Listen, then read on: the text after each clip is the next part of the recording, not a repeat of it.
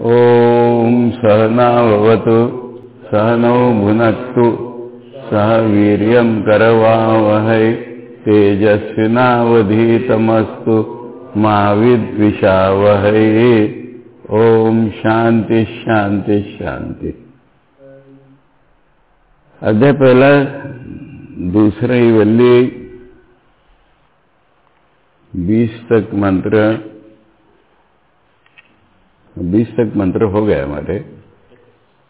और प्रसंग है कि यमराज ने नचिकेता से कहा कि इसको सुनो, सुन करके मनन करके पकड़ो अच्छे तरह से। और निधिध्यासन करके रियलाइज़ करो। तो उसके बाद उन्होंने सुनाना शुरू कर दिया। और आत्मा का नेचर सुनाएँगे मैंने निगेटिव अधिक होगा। आत्मा ऐसा नहीं, वैसा नहीं। तो हमने श्लोक से देखा कि वो मरता नहीं है, जन्मता नहीं है, सब। पॉजिटिव जितना बता सकते हैं कि नित्य है अनचेंजिंगली नित्य है प्रवाह रूप नित्य नहीं आज है, पुराना है। इसका कोई कॉज इफ़ेक्ट में नहीं आता। और उन्नीस में बोला कि इसको जो मरना मारना, वो गलत है अज्ञानी है। इसके बाद बीसवा मंत्र। अणुरणीय नहीं पढ़ लिया उन्होंने सूक्ष्म से सूक्ष्म है, सभी जंतुओं की गुहा में है, और जब डिजायर्स नहीं होती, तब ये इंद्रियों के प्रसाद से, या हमने देखा भगवान के प्रसाद से, इसको देख लेता है डायरेक्टली और वे तो शोक हो जाता है। यहाँ तक बता दिए इक्कीस मंत्र। आसीनो दूरम रजति। आसीनो दूरं शयानो याति सर्वतः। कस्त्वं मदामदं देवं। मदन्यो ज्ञातुमर्हति। मदन्यो ज्ञातुमर्हति। जैसे बताया अभी इसको छोड़ करके जो प्राकृत पुरुष हैं अनट्रेंड माइंड अर्थात जिनमें डिजायर्स हैं उनके लिए मुश्किल है, ये भी बताना है। मैंने साधना को एम्फोसाइज करना है कि डिज़ायर छोड़ने पड़ेंगे और मन को ट्रेन करना पड़ेगा शुद्ध बना लेना पड़ेगा। उसके बिना ये पॉसिबल नहीं है। इसलिए ऐसी भाषा में कह रहे हैं, कैसा है? खड़ा है पर दूर चला जाता है। सोते हुए सर्वत्र चला जाता है। यानी निर्गुण सगुण ब्रह्म एक साथ बता रहे हो। खड़ा है का मतलब अचल है, गतिहीन है, किंतु जो भी चीज़ कहीं जाती है, आत्मा तो वहाँ पहले से है। और लेटा हुआ है मैंने अपने स्वरूप में है बिल्कुल। किंतु सर्वत्र व्यापी है। ऐसा निर्गुण सगुण ब्रह्मा का वर्णन कर रहे हैं यहाँ पर ये इस तरह से पहली बार आया अब मदा मदम देवो, मद मने मस्त है। किसमें मस्त है, अपने आनंद में मस्त है। परंतु उसको मद नहीं है। मैंने हम लोग जैसे इंटॉक्सिकेट होते वैसा नहीं है। स्वरूप के आनंद में मस्त है। फिर उसको घमंड रूप जो मद होता है ना, वो उसमें बिल्कुल नहीं है। अहंकार, अहम बुद्धि नहीं है बिल्कुल, पर आनंद की प्रचुरता से मस्त है। अभी यमराज को नचिकेता तो बोला था कि आपके सिवा मुझे कौन बताएगा? तो यमराज करे मेरे बिना कौन देख सकता है इसको? यानी साधारण आदमी नहीं देख सकता इसको स्ट्रेस करने के लिए। ये ब्रह्मज्ञ की अहंकारोक्ति नहीं होती है, पर श्योर है वो, देख रहा है इसलिए। इसलिए कह रहे, मेरे बिना कौन देख सकता है इसको? अब मेरे बिना कोई नहीं देख सकता, ऐसा अर्थ नहीं हो रहा। इसका अर्थ होता मेरे जैसे होगा तो देखेगा वो भी। आचार्य कह रहे अन्य था अदरवाइज़ दुर्विद यो, मुश्किल है जानना। आयम आत्मा। जानना अनुभव पूर्वक जानना, मुश्किल है। ये आत्मा। कामी भी, जिनमें इच्छाएँ हैं, उनके द्वारा। नचिकेता के बाप जैसे, प्राकृत पुरुष ही। जिन्होंने अपने मन को संस्कारित तो नहीं किया है उनके लिए। यस्मात क्योंकि आसीनो, अवस्थितो, अचल एवसन खड़ा है मतलब अचल है। इसमें किसी प्रकार की गति इनर आउटर नहीं हो सकती। माने कपता भी नहीं है, भीतर में कुछ गति नहीं है चेंज नहीं है। खड़ा है, खड़ा ही है। दूर अम्रजती किंतु कितनी भी दूर में चला जाता है, मैंने है ही सर्वव्यापी होने के नाते। शयानो याति सर्वता सोए सोए ही वो सर्वत्र जाता है। एवं असौ आत्मा देवो। अब यहाँ आचार्य भाष्य में देव शब्द लाए, आत्मदेव। ये आत्मा ही देव। देव मैंने वही कहा ना, भक्ति जिसमें आती है, वो देव शब्द। मदा मद समदो अमदश्च, सहर्षो अहर्षश्च। यानी आनंद प्रचुर है, पर ये आनंद का उपभोग नहीं कर रहा है, इसलिए हर्ष भी है, हर्ष से विकृत नहीं है ये। विरुद्ध धर्मवान, अब ये निर्गुण सगुण तो सब विरुद्ध धर्मवान ही दिखता है ना, कहीं नहीं जा रहा है, सब जगह गया है। इसी तरह से आनंदित है, पर आनंद में मत वाला नहीं हुआ है। अतो अशक्यत्वाद ज्ञातुम, इसलिए जानना उसको मुश्किल है। दुनिया का ऑब्जेक्ट एक ऐसा होता है, नहीं तो वैसा होता है। ऐसा भी और वैसा भी, ऐसा भी नहीं, वैसा भी नहीं, ऐसा नहीं होता। मद अन्यो ज्ञातुम अर्हति, मेरे बिना कौन जा सकता है? इसका आचार्य इसको अर्थ भीतर से आशय समझा रहे हैं। अस्मदा दे रे वह सूक्ष्म उद्देह पंडित सुविज्ञो अयम आत्मा। पंडित का अर्थ क्या होता है? लिखा है कभी उन्हें, पंडा आत्म विषय बुद्धि, वो जिसके वही पंडित है। तो हम जैसे सूक्ष्म बुद्धि वाले पंडितों के लिए। सुविज्ञ अयम आत्मा। अच्छी तरह जान जाते हैं आत्मा। स्थिति, गति, नित्य, अनित्यादि विरुद्ध अनेक धर्म उपाधिकत्व उपाधि है सारी उसकी अलग अलग धर्म जो है, स्थिति है, गति है, नित्य है, अनित्य है अनित्य मैंने दुनिया अनित्य है, उस रूप में है भगवान। आदि, विरुद्ध अनेक धर्म उपाधिकत्वाद विरुद्ध धर्मवत्वाद इसलिए विरुद्ध धर्म वाला प्रतीत हो रहा है, क्योंकि विरुद्ध धर्म उपाधि उसकी। विश्व रूप इव चिंतामणि इव विश्व रूप माने क्या? और चिंतामणि माने क्या? नहीं मालूम। विश्व रूप माने अपियरिंग हंड्रेड वे विश्व विश्व का अर्थ वराइटीज होता है। कितने ही रूपों में दिखता है वो। चिंतामणि माने एक मणि है। उस मणि में आप देखो, आपकी जो इच्छा वो दिखेगा। कल्प वृक्ष में जैसे मांगते हैं ना, ऐसे ही चिंतामणि होता है। तो चिंतामणि आप सामने लो हाँ?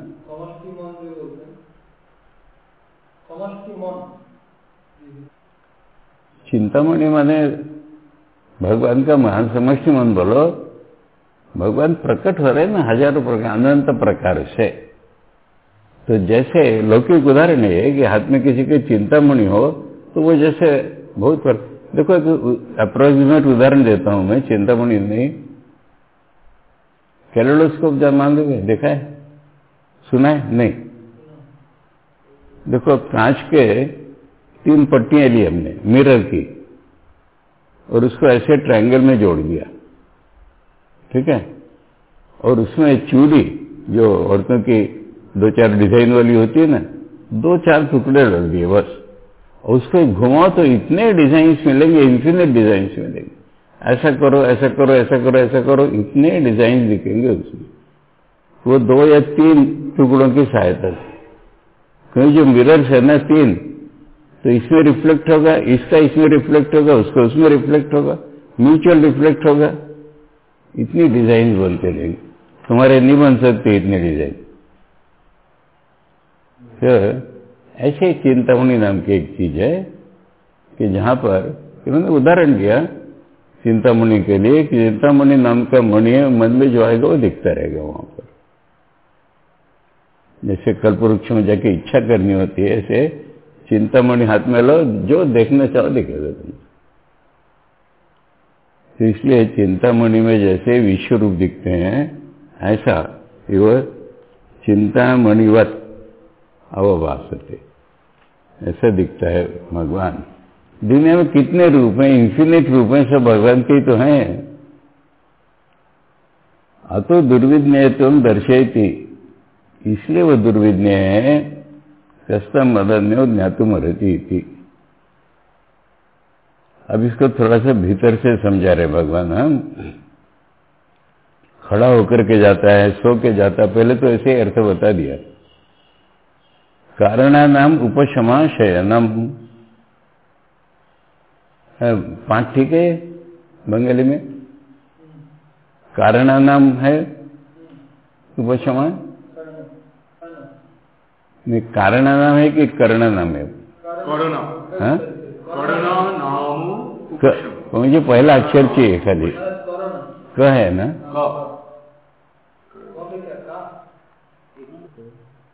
तो मेरे इसमें मिसप्रिंट है। ना इसीलिए तो मैंने पूछा। गीता पर इसकी इनके पुस्तक में ठीक है। मेरे मिसप्रिंट है राम। हाँ पहला पहला अक्षर देखो। वाक्य का पहला अक्षर। दूसरा नहीं। हाँ कोई है। फिर इसमें कारण नाम हो गया। क्योंकि यहाँ कारण नहीं आ रहे इंद्रियों का सवाल है ना। नींद किसको कहते हैं? इंद्रिया जब काम नहीं करती तो हम नींद कहते हैं। करणानाम उपशमा शयनम कर्ण जनित एक देश विज्ञान से उपशमा शयान से भवती। एक देश में जब हमारी इंद्रियाँ चलती हैं तो हमें स्थूल दुनिया ही खाली दिखाई पड़ती है। पूरा स्वरूप दुनिया का नहीं दिखाई पड़ता, भगवान को नहीं देख पाते हम अपनी खुली आँखों से। इसलिए सोए हुए का अर्थ यहाँ पर सब एक हो गया है, इस अर्थ में। शयन से बहुत। एक देशी विज्ञान। का उपशम हो गया है, यह शयान का अर्थ होता है। यदा च एवं केवल सामान्य विज्ञान क्या रह गया वहाँ पर? जनरल नॉलेज इन जनरल रह गया है नींद में इन पर्टिकुलर नहीं रहा इसलिए सारी दुनिया को देख रहा है। यहाँ सोए हुए कबर जाता है, देख, कहा है? तो इंद्रियों का जब उपोषण हो जाता है तो ज्ञान नाम की चीज़ रह गई हमारी। तो उसमें कोई पर्टिकुलर चीज़ नहीं रहेगी इसलिए वो सर्वतो याति इव। इसलिए सब जगह गया हुआ था। यदा विशेष विज्ञान स्था स्वेन रूपेण स्थित एव सन। मनादि गतिषु तद उपाधिकता दूरम व्रजती इव। ये मंत्र में जो जो अर्थ है, ना, पहले नहीं बताया, ना, सादा ही बता दिए दूर जाता है।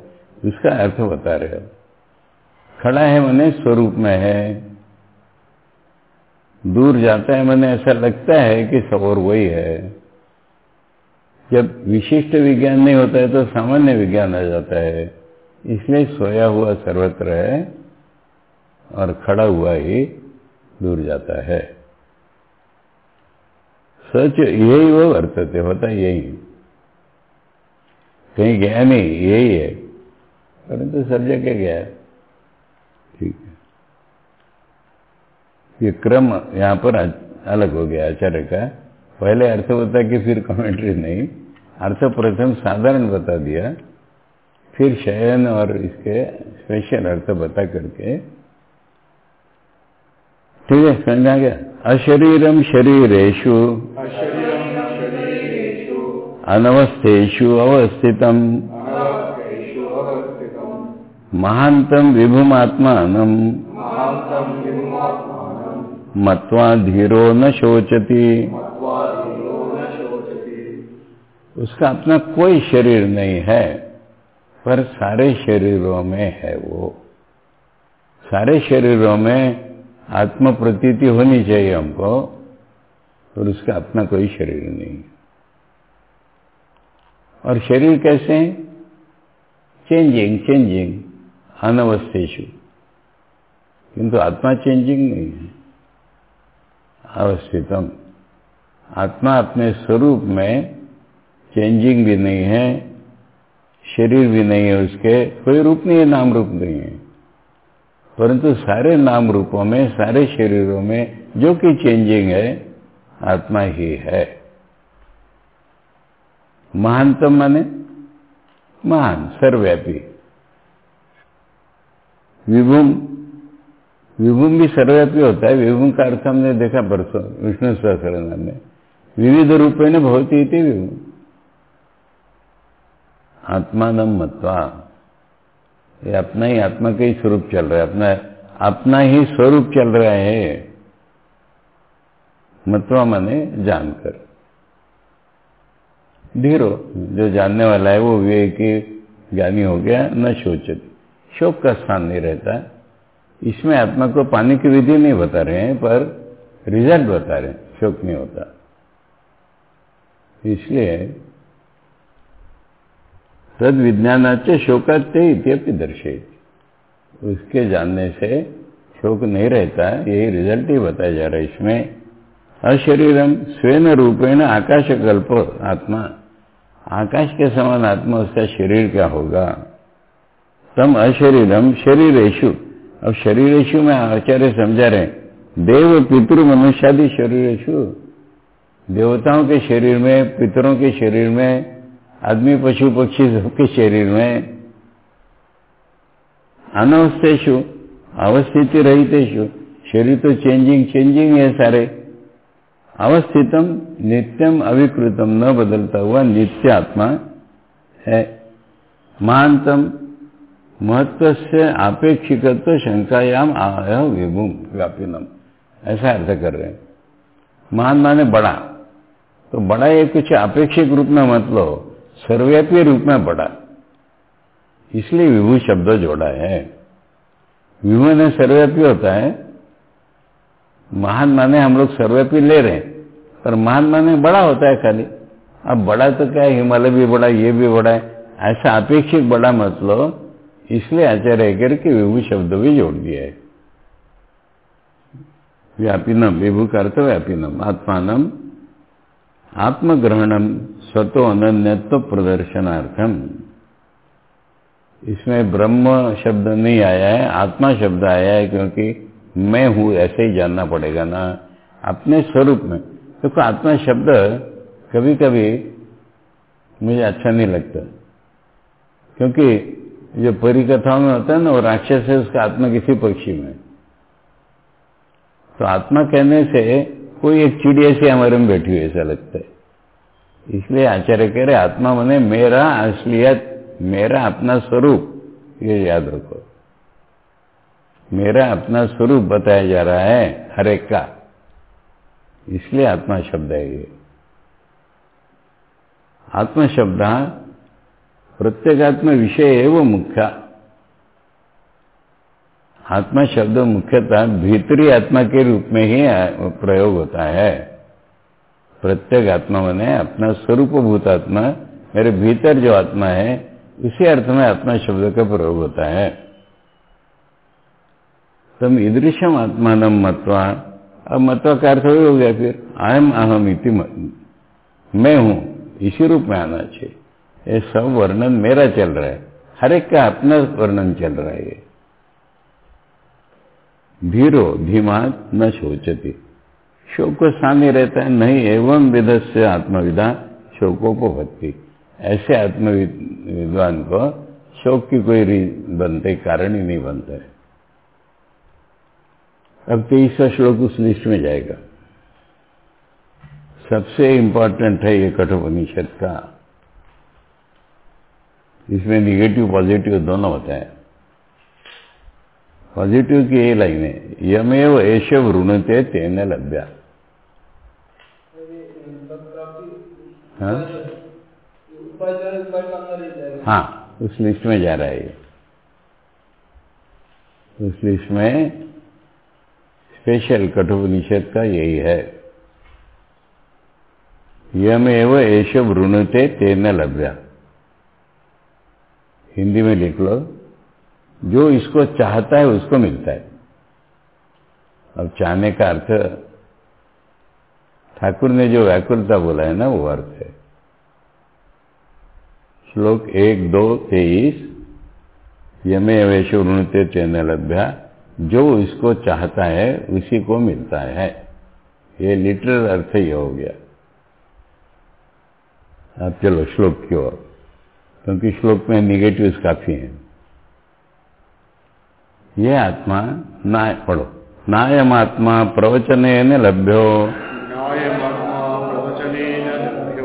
न मेधया न बहुना श्रुतेन। न न यमेव एष वृणुते वृणुते तेन लभ्य। तस्यैष आत्मा विवृणुते तनुं स्वाम्।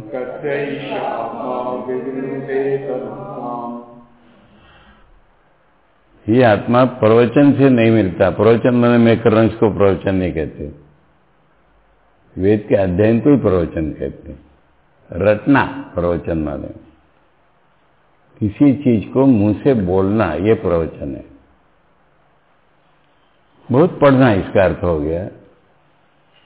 या वही, याद करना, रटना, रिसाइट करना या फिर ये भी इंक्लूड कर लो जो व्याख्यान देना। ये डायरेक्ट अर्थ नहीं है वहाँ पर फिर भी इससे आत्मा नहीं मिलता। ये भी तो वेद का पाठ है। हाँ? ये भी तो वेद का पाठ है। हाँ पर वेद पढ़ते से आत्मा नहीं मिलता ये बात है ना बोलना ये प्रवचन नहीं है ये ये भी प्रवचन ये प्रवचन मैंने ऐसा लोगों को सिखाना ये इसमें ऐसे डायरेक्टली इंक्लूड नहीं है। खुद ही कोई पढ़ता है ना, रटता है ना, वो मीनिंग है यहाँ पर। इसलिए का ये प्रवचन भी इंक्लूड हो सकता है, पर मुख्य मीनिंग इसका है वेद पाठी। उसको नहीं मिलता। फिर बहुत इंटेलिजेंट होना चाहिए बोले इंटेलिजेंस से कुछ नहीं मिलता। मेधा जो ग्रंथार्थ धारण शक्ति, उससे नहीं मिलता। अब फिर बहुत सुनो बहुना श्रुते न का अर्थ बहुत सुनो। मैंने बहुत सारे शास्त्र पढ़े ऑलराउंड नॉलेज है, इससे भी नहीं मिलता। इसलिए इसमें ऐसी चीज़ें बताई हैं जो हमारे लिए आवश्यक है। देखो लॉजिक में एक होता है नेसेसरी कंडीशन एक होता है सफिशियंट कंडीशन मालूम है ना? मैंने ये तो होना ही चाहिए, पर पूरी- पर्याप्त नहीं है। अरे कॉमन उदाहरण देता हूँ मैं। रसोई में नमक तो पड़ना ही चाहिए, पर खाली नमक पड़ गया तो रसोई नहीं हो गई नेसेसरी कंडीशन सफिशिएंट कंडीशन तो ये चीज़ ऐसी कि करते हैं लोग। आत्मा को पाने के लिए तो ओमकार का नहीं बताया वेद, यद पदमानंती इसलिए आत्मा को पाने के लिए तो वेद पढ़ते हैं। पर दैट इज़ नॉट सफिशिएंट उससे मिलेगा नहीं तुमको। अब भीतर का अर्थ जानो। इसलिए खूब वो क्या, मेधा देवी जुषमणान आगा तो मेधा को आवाहन करो। मेधा आ गई मेरे में, उससे भी नहीं मिलेगा। पेनेट्रेटिव इंटेलिजेंस मेधा का अर्थ है। उससे भी नहीं मिलेगा। फिर फिर ये भी जान लो, वो भी जान लो, फिजिक्स भी जान लो, केमिस्ट्री भी जान लो, दुनिया भर को जान लो। सारे वेद जान लो, सारे उपनिषद जान लो, इससे भी नहीं मिलेगा। तो ये तो जानने की कोशिश आत्मा के लिए करते हैं ना लोग इससे भी नहीं मिलेगा। फिर मिलेगा किससे? मुझे आत्मा चाहिए। वर्ण करेगा। अब ये वर्ण शब्द अच्छी तरह से समझ लो। वर्ण किसको कहते हैं? ऐसे तो चाहना है चूज़ करना वर्ण का अर्थ चूज़ करना है। जो आत्मा को सिलेक्ट करेगा, ये वर्ण का अर्थ है। वर शब्द और कहाँ सुना है, बताओ। स्वयं वर शब्द नहीं सुना है। माने वो लड़की अपने मुताबिक वर को चुन लेती है ना। अब स्वयंवर का एक उदाहरण बताऊँगा। दमयंती की बात सुनिए। नल दमयंती की कहानी। दमयंती का नल के ऊपर अट्रैक्शन या प्यार हो गया था। अब दमयंती के पिता ने स्वयंवर रचा उसका। अब बहुत से देवता लोग मुग्ध थे दमयंती के रूप के कारण। और देवता तो कुछ भी रूप बना लेते हैं। तो चार देवता नल का रूप बना के आ गए। और नल राजा तो खुद आए गए। तब जब दमयंती प्रवेश करती है तो पाँच पाँच नल दिखते हैं।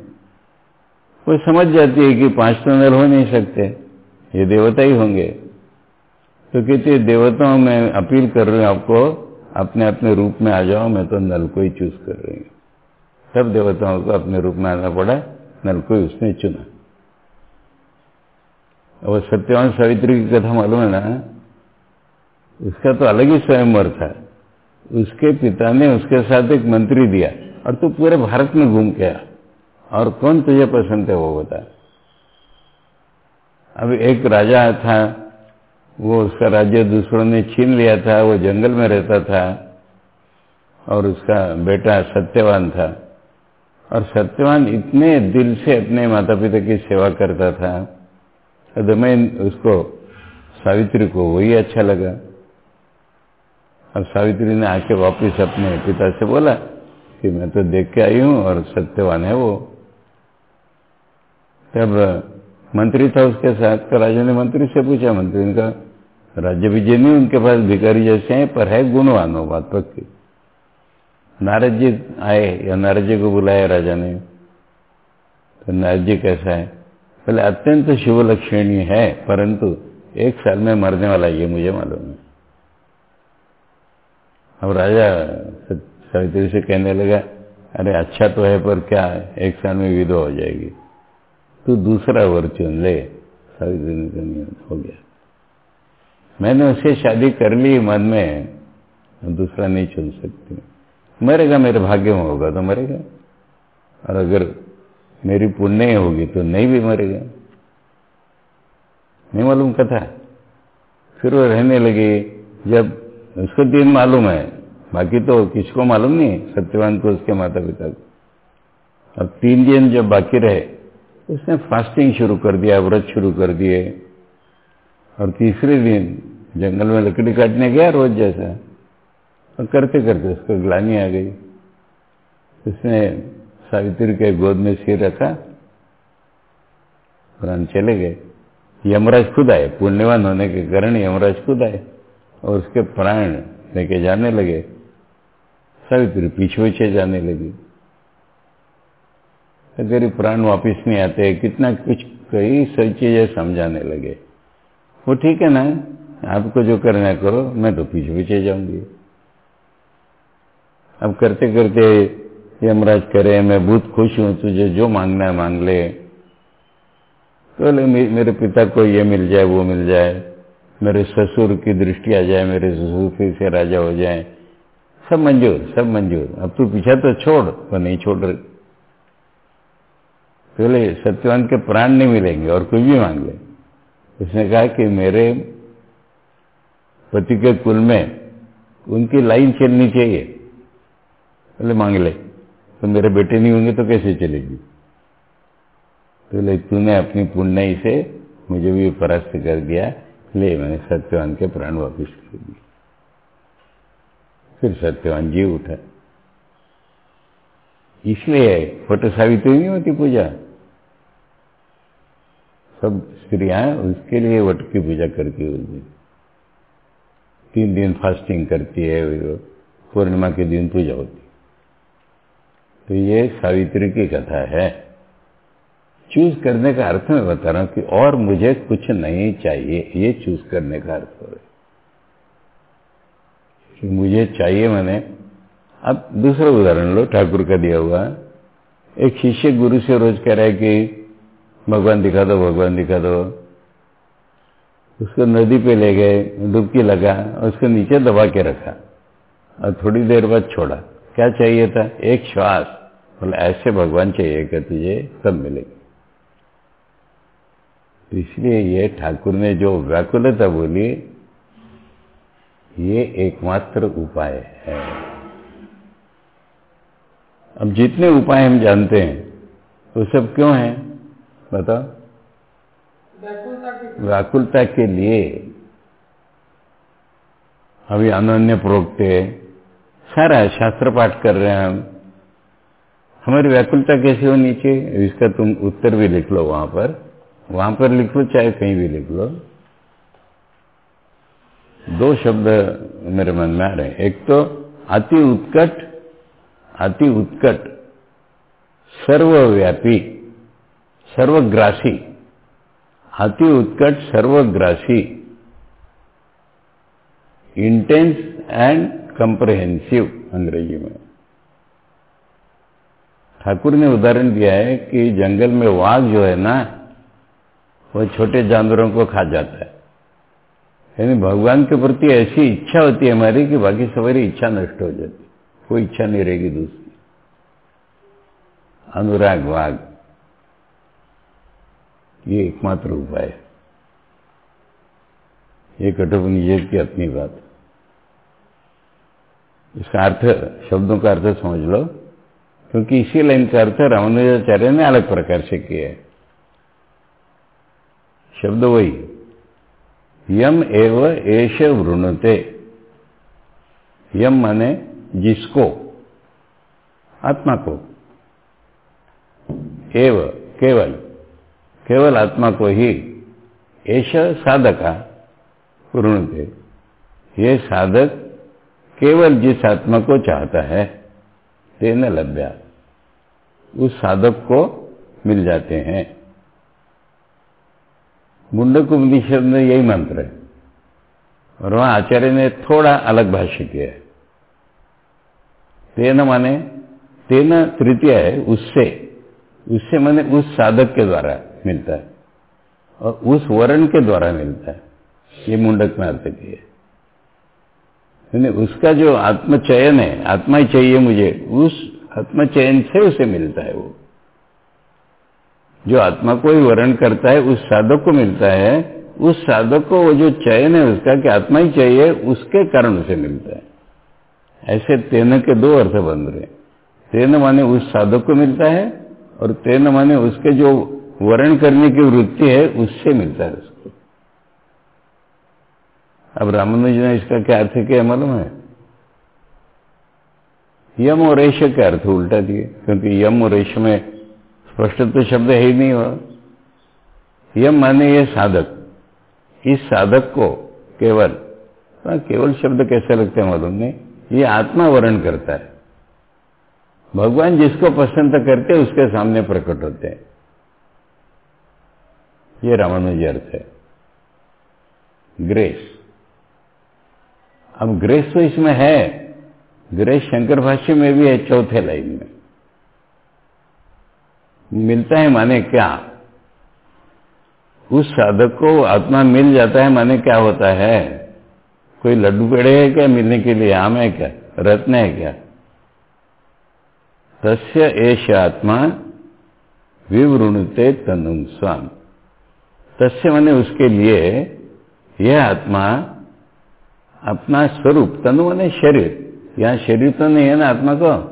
तनु माने अपना स्वरूप प्रकट कर देता है इसके बोध में।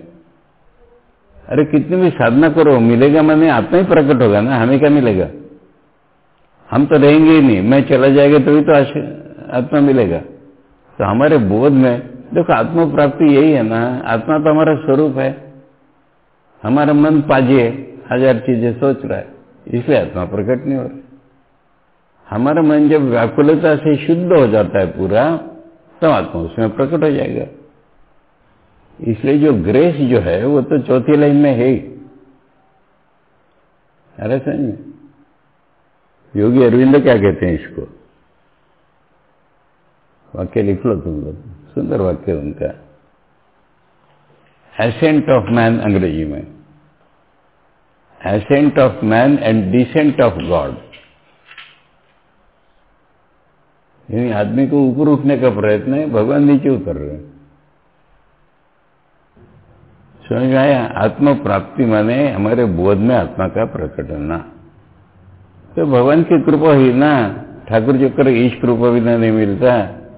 ये तो ईश की कृपा हुई ना, हमने क्या किया? हमने चाहा उसको, हम व्याकुल हो गए उसके लिए। ठाकुर कहते हैं कि व्याकुलता हुई कि अरुणोदय हो गया, सुना है ना? अरुण किसको कहते हैं? इसीलिए मैंने पूछा वो अरुण सामने बैठा है। अरुण सूर्य अरुण सूर्य का नाम नहीं है। सूर्य देवता बहुत बड़े रथ में बैठते हैं। उनका लंगड़ा सारथी है, उसका नाम है अरुण। अरुण जो है, सूर्य का सारथी है। उसका लंगड़ा रूप में वर्णन है। मुझे नहीं पता क्यों है वो।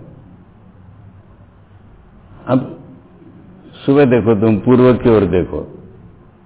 पहले लाल दिखता है ना? और लाल दिखने के कितने बाद सूर्य आता है? देखा है कभी? चालीस बयालीस मिनट। यानी सूर्य से किरणें निकली, वो हमारे आँखों में जाके पहुँचेंगे ना। अरे हमको कोई चीज़ दिखती है, फट से दिखती है, क्योंकि लाइट की स्पीड बहुत ज़्यादा है।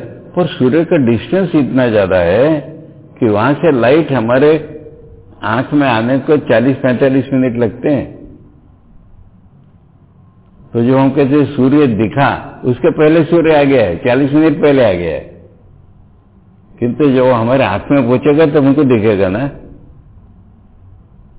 अब सूर्य आ गया, उसकी लाली होगी सूर्य का रिफ्लेक्शन आकाश में बादलों के ऊपर कहीं भी पड़ा। वो हमको दिख गया। सूर्य नहीं दिखा अभी इसको अरुणोदय कहते हैं। डॉन, अंग्रेज़ी में उषक काल ब्राह्म मुहूर्त ये सब इसके नाम है। वहाँ से प्रत्यक्ष सूर्योदय तक जो काल है, वो ब्राह्म मुहूर्त कहलाता है। ध्यान के लिए सर्वोत्कृष्ट मुहूर्त तो अरुणोदय माने, अब क्या बचा है? अरुणोदय हो गया तो कोई सूर्य को रोक लेगा क्या? एक चालीस पैंतालीस मिनट रहे ना? अब ठाकुर के उदाहरण में उस व्याकुलता को अगर मेंटेन किया हमने, व्याकुलता इमोशनल होता है भगवान, मिल जा मुझे, फिर दूसरे क्षण हम दूसरे काम में लगे, ऐसे नहीं चलेगी। वो व्याकुलता अगर हमारे मन में टिकती है तो सूर्य दिखेंगे, कहाँ जाएँगे? ये ठाकुर का उदाहरण है। व्याकुलता हुई कि मानो अरुणोदय हो गया। अब सूर्य को कोई रोक नहीं सकता, पर जोड़ो इसमें कि उतने टाइम तक तो व्याकुलता मेंटेन करनी होगी ना। ये ठाकुर का उपाय यही है ये। वर्ण करना चूज़ सिलेक्ट करना, इच्छा करना, चाहना का ये अर्थ है। इसके बिना दूसरा उपाय नहीं है। क्योंकि हमारी इच्छा है। और रसगुल्ला खाने की भी इच्छा है। अरे रसगुल्ला छोड़ो, स्त्री संग करने की भी इच्छा है। भगवान को भी पाना है हमको। कहाँ से मिलेंगे? ये इच्छा है, वो इच्छा है, वो इच्छा है, बड़ा बनना है, छोटा बनना है, कहाँ से मिलेंगे? सारी इच्छाएँ रिजॉल्व अगर हो गई उनमें हमारी, एक ही इच्छा रहे।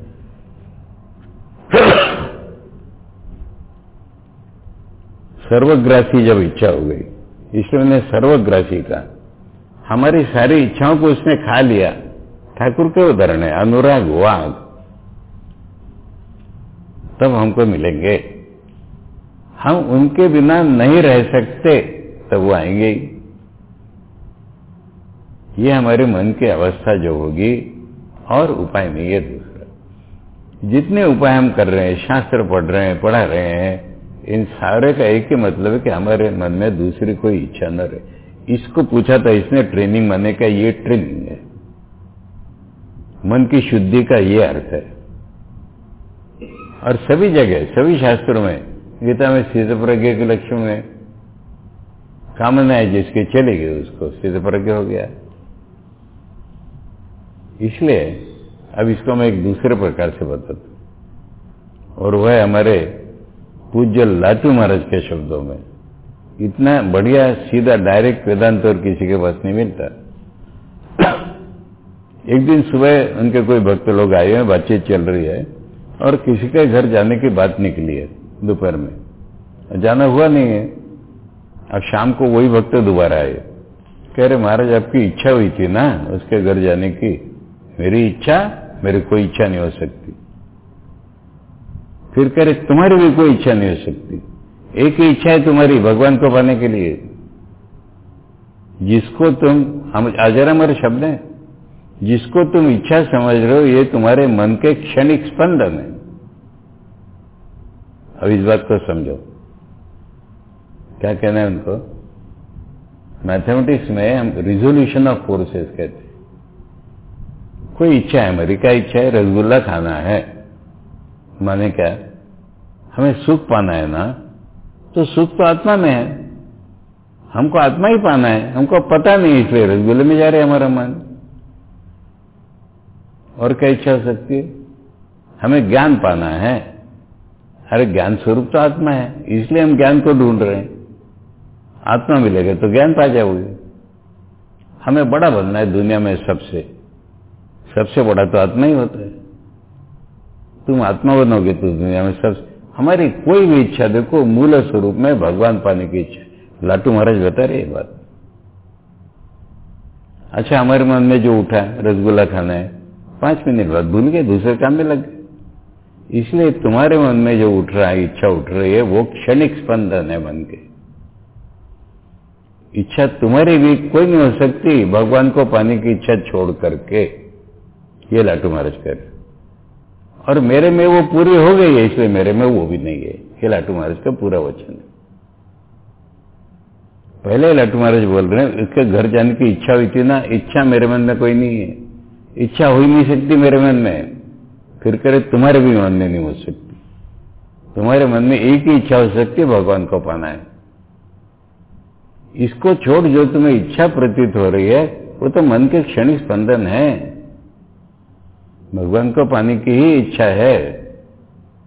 मेरे में वो भी पूरी हो गई है, इसलिए वो भी इच्छा मेरे में नहीं।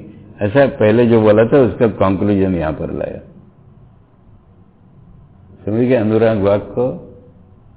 जब हमारी इच्छा सर्वग्रासी हो जाती है, हमारी सारी इच्छाओं को खा लेती है वो। खाली इंटेंस हुई तो नहीं है। इंटेंस कभी कभी इमोशनली हो जाती है। पर बाकी सब इच्छाएँ छिपी रहती है, दबी रहती है, वो आ जाती है फिर, दो मिनट के बाद। इसलिए कुछ भी इसलिए मैंने उदाहरण दिए, दमयंती या सावित्री तो मुझे और दूसरी चीज़ दुनिया में कोई सेटिस्फाई नहीं कर सकती अभी। नचिकेता ने कह दिया ना, इसके समान कोई वर ही नहीं है। और इसके लिए तो यमराज बोले कि तेरे लिए तो दरवाजे खुल ही गया है समझ में? अब पाते ही माने, उसके बोध में भगवान अपना स्वरूप प्रकट कर देते यही पाना है। और इसीलिए मैंने इसका तेना का मुंडक वाला अर्थ भी बता दिया यहाँ पर। किससे मिले उसको? उस इच्छा से ही मिले। किसको मिले? जिसके मन में एकमात्र इच्छा थी, उसको मिले। किस कारण मिले? उस इच्छा के कारण ही मिले। ये कठोपनिषद का मुंडक में भी कॉमन है, पर कठोपनिषद की खास बात है ये। नायमात्मा प्रवचन न लभ्यो, न मेदया न इसका मतलब प्रवचन मत करो, वेद मत पढ़ो, मेधा नहीं होनी चाहिए, ऐसा नहीं अर्थ हो रहा है। They are necessary condition but not sufficient Veda पढ़ना ही इसके लिए कि हमारी व्याकुलता बढ़े। मेधा इसीलिए हो कि हमारी व्याकुलता बढ़े। बहुत साल इसीलिए सुन रहे कि हमारी व्याकुलता बढ़े। पाएँगे भगवान को व्याकुलता से। ठीक है? इसका आप कॉमेंट्री कल पढ़ेंगे।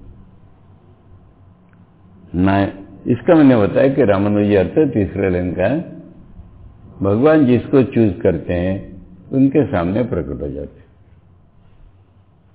फिर बताएँगे, तुम भगवान को प्यार करोगे, तभी भगवान तुमको प्यार करेंगे, तभी तो चूज़ करेंगे। ऐसा करके लगाएँगे उल्टा। पर वहाँ व्याकुलता के बदले भगवान के फेवरिट कौन है? ऐसा हो जाता है। ओम सहनावतु सहनौ भुनक्तु, सह वीर्यं करवावहै, तेजस्विनावधीतमस्तु, मा विद्विषावहै। ॐ शांति शांति शान्तिः। हरिः ॐ तत्सत् श्रीरामकृष्णार्पणमस्तु